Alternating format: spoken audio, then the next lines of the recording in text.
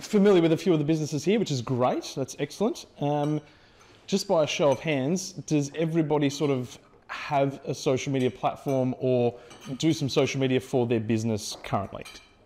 Just as most people. Fantastic. Excellent. Very good. Two, add a little bit of context. So, as Steph mentioned, uh, we're from Attention Media. So, we're an agency based over in Shepparton. Uh, we're about six and a half years old, and we have a team of six full time staff currently. And we work with a range of different businesses from the local cafe in Shepparton to some larger multinational companies all around Australia. So there's a fair bit of uh, width and depth to the types of clients that we work with. Uh, but the idea today is obviously just to try and um, keep things simple with social media. I mean, even for us, it can be an extremely complex and ever-changing landscape. So even you know, for us working in it day in and day out, it can be quite a challenge to keep up with things. It's always changing. It's always evolving. But then there's also social media, which obviously lends itself to giving us a lot more control as you know the business owner or the brand owner. Um, so one of the main things with social media is that we can put a strategy forward, we can get content out, we can let people know who we are, what we're about, what we offer, and we have complete control over that. So one of the main things with social media, we can use it to build brand awareness. So we can help to get the word out. Obviously, it can help us to generate leads and or sales. We can use our social platforms to drive traffic through to our websites, improve customer service. Uh, you know, a lot of the times people ask questions through social media. They might jump onto Facebook. They might send you a DM. You might have uh, a chat set up through Messenger. So the next couple of slides, just to add a little bit of context to the social media usage in Australia. So these stats are from January this year. And you can see that obviously Facebook and Instagram are the most popular, they're the most used platforms. And I think sometimes, correct me if I'm wrong, but deciding on which social media platform to use or you know where should we be spending our time can often be a, a bit of a, a, juggle as well, a bit of a task. Um, but in terms of where you know where should we start where are we going to get the most reach? For most people you know we all have a facebook page facebook account and an instagram account. So that's definitely one of the best places to start because we're going to reach the most people there. You can see obviously we've got tiktok we've got whatsapp snapchat it goes further on down the list but that gives you a bit of an idea of statistically how many people on different social media platforms. So social media users, obviously, you know, the majority of the Australian population at this stage has or uses social media. We can see some other statistics there just around the average time that people spend on social media. Uh, two hours and four minutes per day. Uh, does anybody feel like they would be using social media more than that in a day? No? Has any, does, is anybody utilising the, um, the the time tracker on the iPhone that sort of shows you how long you've been? Yeah, it scares you. Yes, exactly. Um, very much the case. Very much the case. Um, any other questions based on that info there? Does that is there anything there that sort of surprises people? Good. Good. It's all fairly straightforward, but uh, again, it just sort of gives you an overview of um, you know what's possible with social media too. How many people are using the platform? How long are they using it for? The next slide: main reasons for using social media. So again, this one here, I think one of the, especially when it comes to business, when we're using social media, the challenge can be that we want to, you know, put a post out onto Instagram and we want people to buy our product or service. Like most of the time, that's obviously the outcome that we're looking for.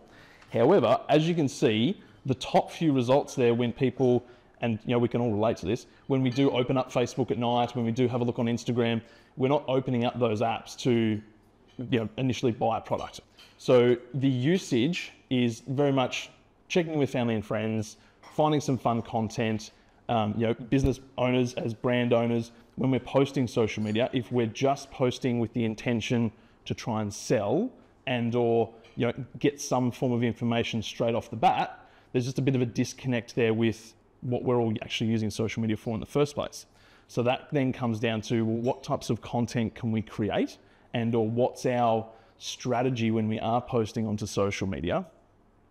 And one of the really simple ways to overcome that problem is to think about the 80-20 rule for posting our content. If we have 80% of our content, roughly, that is um, value driven. We're providing some information, we're providing some value, we're trying to entertain people.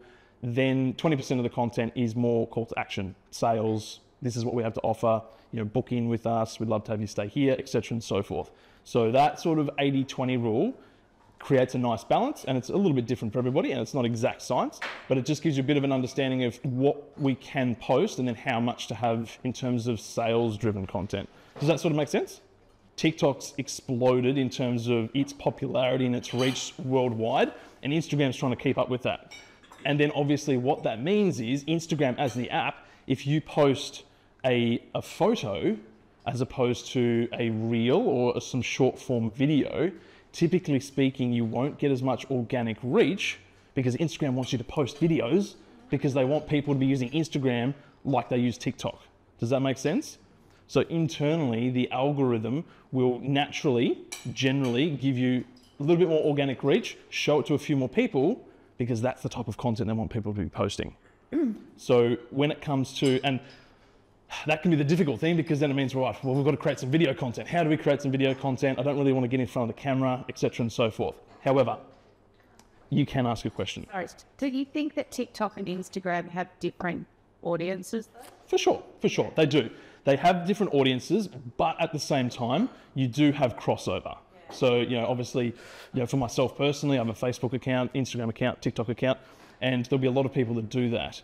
One of the things is, though, to keep in mind that the psychology on different platforms, people are using the platform for different things. The reason that you go to Instagram is much different to the reason you go to LinkedIn. It's a different type of audience, there's generally different types of content you know, if you're using Instagram, it's let's catch up family and friends. Uh, you know, let's look at, um, you know, search up the nest, see what they're doing on the weekend. Inst- uh, LinkedIn is very much business-related content. You know, it's it's the professional network as they've always called it. Um, same thing with Instagram and TikTok. There's different audiences, but there's still crossover. And because TikTok's exploded and their user base is so big now, there's a lot of the time you'll get the same sort of people with Instagram accounts have a TikTok account but it is. It's there's nuances. There's like you know people. Some people love Instagram and they hate TikTok, and then the other way around. But there will be a little bit of crossover. Just depends on, and especially in Australia as well. Obviously, it's it's been very popular, and its user base has increased significantly. So it's a case of testing different types of content, and I think the again trying to keep social media simple. Like it's it can be such a even for us, it's like what do we post? How often do we post? all that sort of thing. But at the end of the day, if we keep things nice and simple, and we know that TikTok is all vertical short form video, that's the type of content we post there. Instagram also wants to be that short form vertical video platform as well. So it's posting the similar types of content on both platforms. Um, see what works best. You know, you will get a bit of a sense of the types of content on TikTok that gets a lot more views sometimes TikTok can be uh, pretty random where you'll get this huge spike of views and it's you know a new platform and they give organic reach a little bit more freely. Um, but just looking at the numbers, just seeing what works, what's getting more organic reach, and then continuing to sort of double down on that type of content. Does that sort of make sense for people? Does that help? Um, so in Facebook obviously has reels as well. You'll you'll notice there there's a bit of a theme with all those different types of content. What's what's the theme that kind of repeats itself? It's the, it's the short form video is predominantly the most popular on most of these platforms now. Um, when it comes to the short form video though, one of the things, again, keeping it really, really simple, is that we don't have to be filming, you know, one, two, three, four minute videos facing the camera and talking to the camera. Some of the types kind of content that works really well nowadays is six second, like really short, six second videos of whatever you're doing, either in your business or your day to day, it's just showing something that you're up to that's interesting. Uh, and a lot of times as a business owner, we think, oh, you know, that's not interesting. What I do is not interesting. Nobody really cares about that part of what we do or what we offer.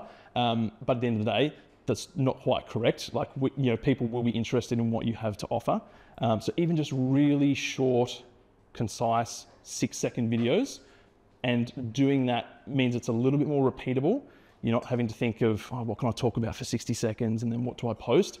Just short, really short um, videos with a little bit of information in the caption, a little bit of extra context, and that can work quite well because you can do that a little bit more easily, a little bit more repeatedly um, to get more posts out more often. So, keeping it simple, um, educational, entertaining, provide some value, and do that on a regular basis. The main thing with social media these days is consistency.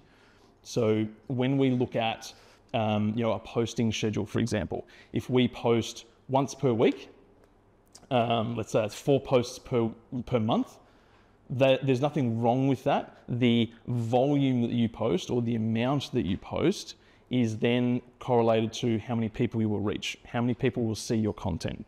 So the amount of you know engagement that you want to get, the amount of um, you know DMs that you want people to be you know contacting you, like that's all based on the amount of times that you post.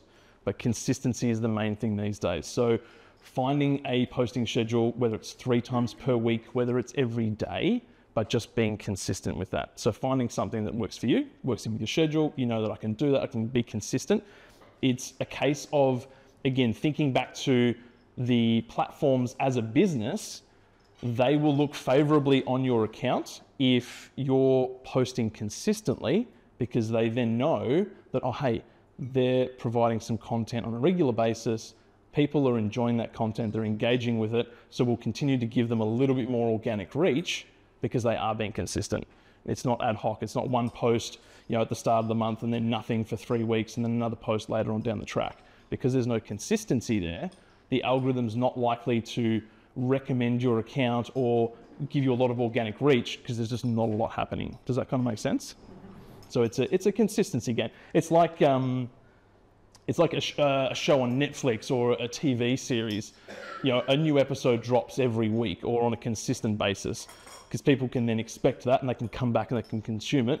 If it was just ad hoc and all over the place, it's very hard for people to either remember it's on or you know really get into it because there's just not a lot happening. It's too sporadic, if that makes sense.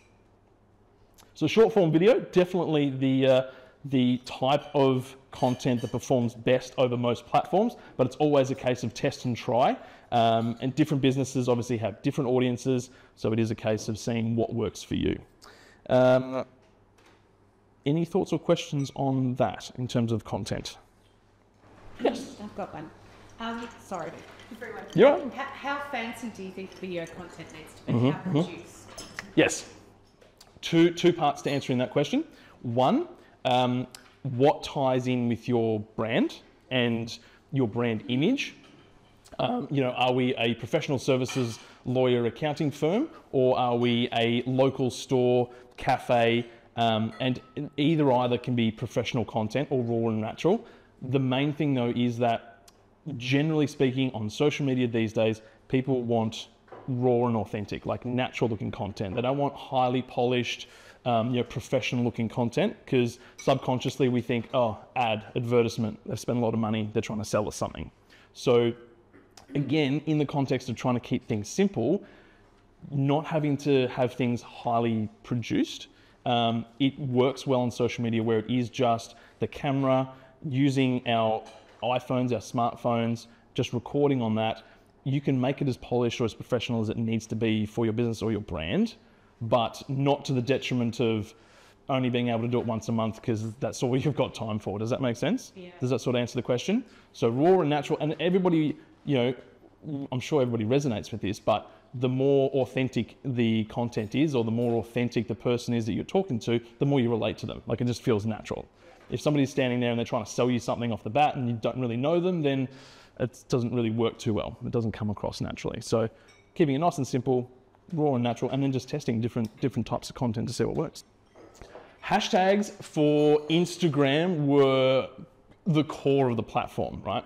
But can I ask a question? Who has been on Instagram in the last however long and typed in a hashtag to search for something?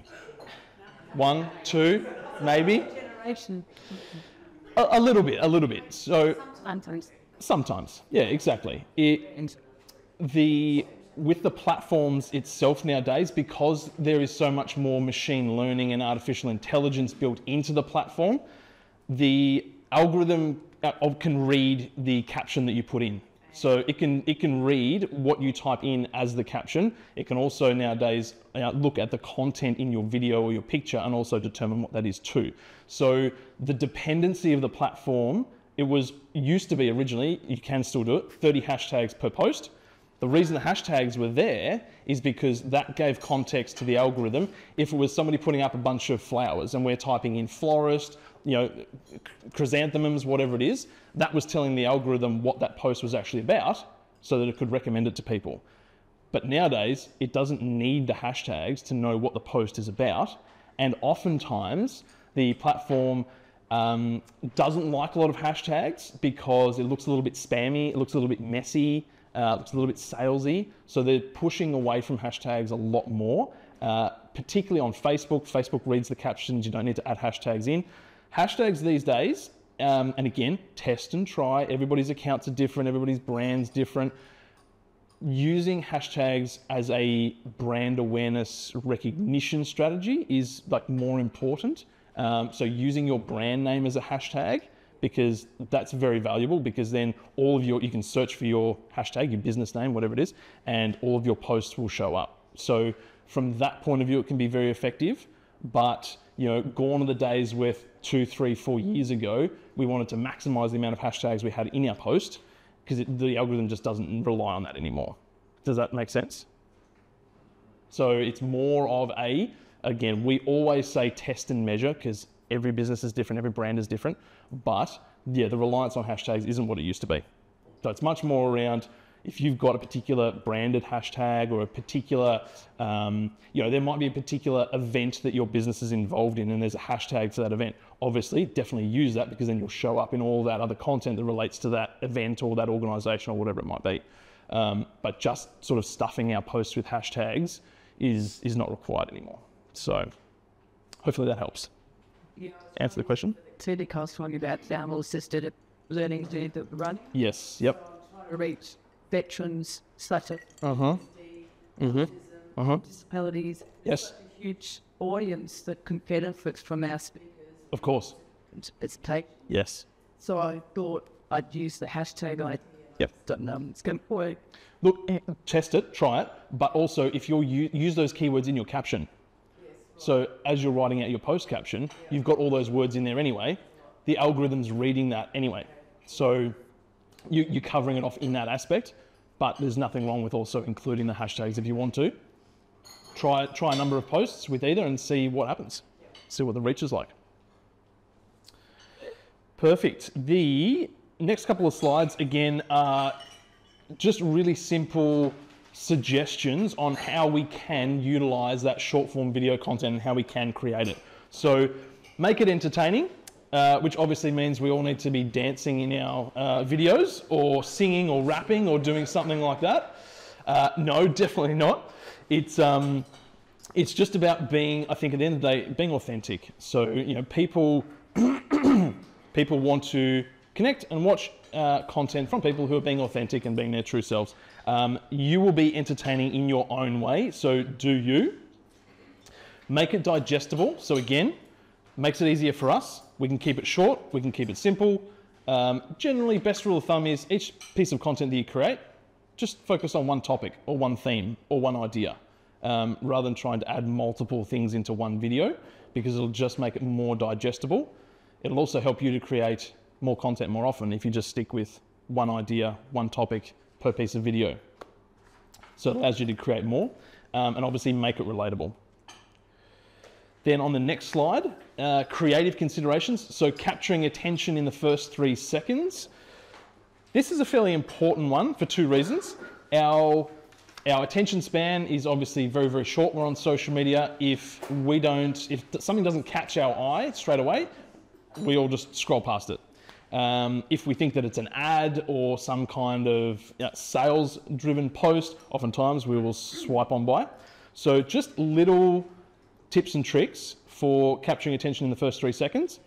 Oftentimes, if you are happy to have you know, face to camera, that works really well because people will gravitate towards faces. People who have themselves in a video, statistically speaking, Meta's put out some information where 27% of, or there's a 27% increase in conversions from videos that feature people and faces. Like we just gravitate to that a little bit more. Um, other tri- tips and tricks is just to be a little bit creative with your phone. So if we go back to that, you know, uh, six second video of the food on the table, starting in close to a particular item, then moving back like that, or swiping from you know one direction to the other. It's just some form of movement at the start, which is a little bit different, a little bit uh, eye catching. That's all that needs to be. So it doesn't have to be some crazy transition but just little bits of movement or you know you're talking to the camera and then you switch it around just little things like that. Keep your brand or product visible obviously for you know any business related content that's important as well. And uh, integrate a clear cta into your video so a call to action. So again with business content if we have um, you know, if we're trying to offer somebody something, if we're trying to provide them some value, if we're trying to get them to take some form of action, we need that little call to action at the end. So whether that's um, you know, heading to the website, whether that's to read the caption in the post, whether that's to click the link in your bio, whether that's to give you a call, whatever that call to action is, um, make sure we include that at the end of the video or in the video itself as well, so that the person who's consuming that content then sort of knows what the next step is. Right, so we just help them to take that next step. And to summarize, um, consistency is key. So as I mentioned before, the it, it's much more important to be consistent rather than should I be posting three times a day or should I be posting on six different platforms in one go? Being consistent is the most important metric. Prioritize short form video. So again, six seconds through to however long the video needs to be. And again, the best rule of thumb there is the video needs to be as long as it needs to be for you to get the point across. So it's not about oh, every video that I create needs to be 60 seconds. However long it takes for you to get that point across is as long as the video needs to be. Creating some content that educates, entertains, and or provides some value. Again, at the end of the day, the best way to look at that is just do you. Like you, you run your business, you are successful, people love what you have to offer. So show them that, provide context around that, and try not to overthink it. It's more important, obviously, to get something posted than to not post at all. So that's the best rule of thumb. 80% value driven content, 20% sales driven content. Again, just use that as a bit of a metric. It's not a hard and fast rule but just try that and see how it goes. Include a call to action with our content, especially with the sales driven post. So if you have something that you want people to take action on, make sure that you let them know what sort of action they need to take. And be social. So reply to comments, uh, and leave comments on other people's content. It's something that we see a lot in you know the agency space is that businesses will be posting content or we're helping businesses post their content or run advertising, but then when people do engage, no one replies. Um, and I can't stress enough the impact, and I'm sure everybody's had it before, where you message a brand, you, you leave a comment on a post. If they reply back to you, it's it's refreshing. Like there's a little bit of validation that it's like, oh, they actually got my message. They took the time to reply. Like that can't be uh, overstated enough. The impact that that can have on uh, you know, just taking those few moments, whether it's delegated to somebody inside the business, whether you do it at night, whatever it is, but just replying to those comments can have a really big impact. And then likewise, leaving comments on other people's social media as well. So whether it's uh, similar companies in you know the same industry that you're in, or whether it's just other people's social media, but leaving comments and little trails around social media with your your business's social media accounts is just more touch points. More people see your brand. If you're leaving a little piece of value or replying to somebody's comment, it just you're being social, and the algorithm will reward you for that because you're not just uh, posting and ghosting, as we call it. If we put up a post and then we just put down our phone or close the computer and walk away, uh, the algorithm knows that you've posted and then you've just left. You've left the platform. So being social as well, replying to some comments, and just giving it, you know, five minutes, whatever it is, to spend a little bit of time on the platform, the algorithm will know that and they'll reward you for that. You'll get a little bit of extra bang for your buck. And that's it. Thank you guys. Hopefully uh, there was uh, something of value in there for you. And if you've got any questions, let's uh, let's throw to some questions. Yes. Um, was video, but Mm-hmm. till the other question, where's Twitter fit in email? Yeah, good question. Uh, live videos for sure. It's um, the emphasis. Live video again, two three years ago was all of the rage. Still very um, very powerful, very beneficial to the business.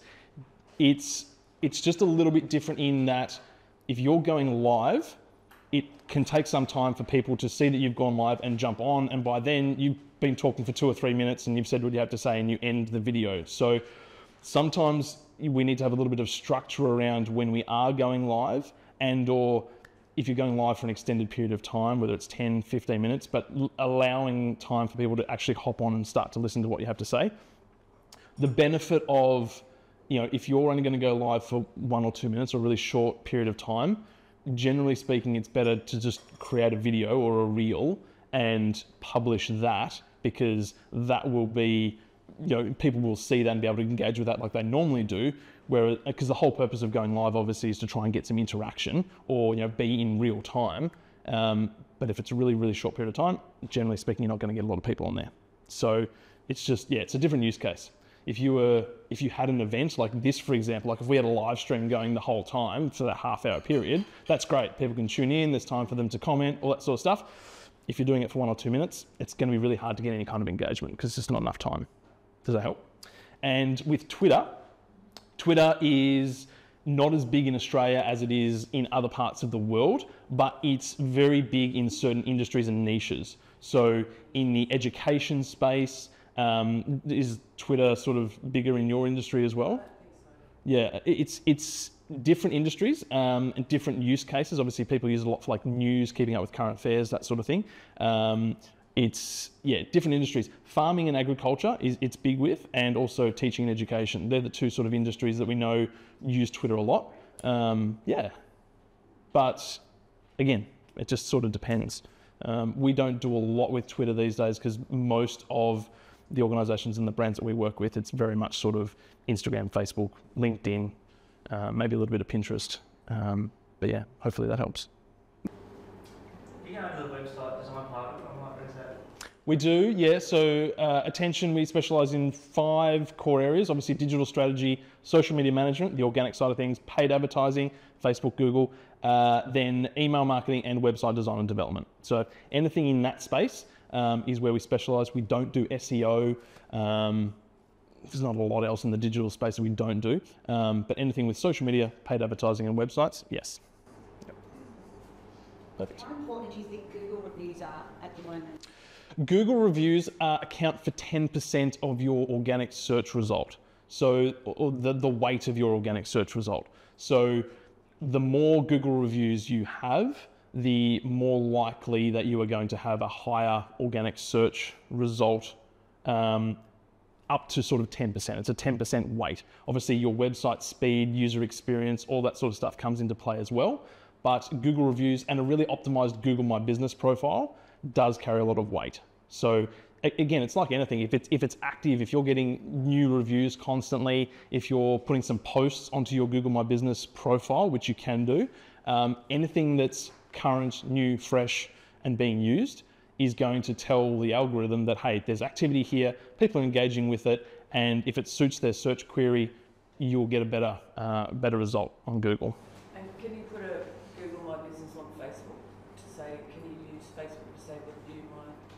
you can, like Facebook's obviously got its own review system, um, but inside of your Google My Business profile, you can get a link. There's just a link, which we use it all the time. You can put it in an email to somebody, or you could post that over onto Facebook, and somebody can tap on that and leave a Google review as well. Do we have any more, any final questions for Anthony before we wrap it up? If you think of anything later on, obviously the socials are all there. Please feel just uh, send us a DM, send us a question, send us an email, whatever it is. Always happy to help.